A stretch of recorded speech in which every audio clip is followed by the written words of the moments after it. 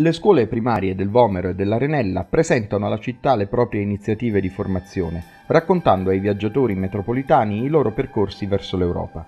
Un'occasione collettiva di incontro e di integrazione che prevede ogni mattina fino al 16 dicembre una rappresentazione in alcune delle fermate della metro collinare e nella stazione superiore della funicolare di Chiaia.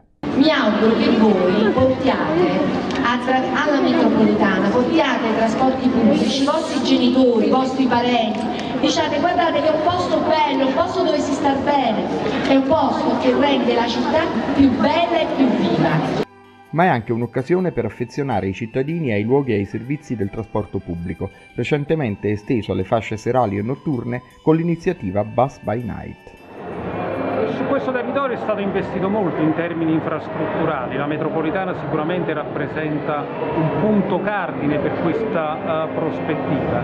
Bisogna lavorare però affinché l'intera città e l'intera provincia di Napoli somigli sempre di più a Pombre e all'Arenella. Non utilizziamo la macchina, utilizziamo il trasporto pubblico e abbiamo la metropolitana più bella d'Europa. Il mese di dicembre, in occasione delle festività natalizie, abbiamo prolungato l'apertura di un'ora.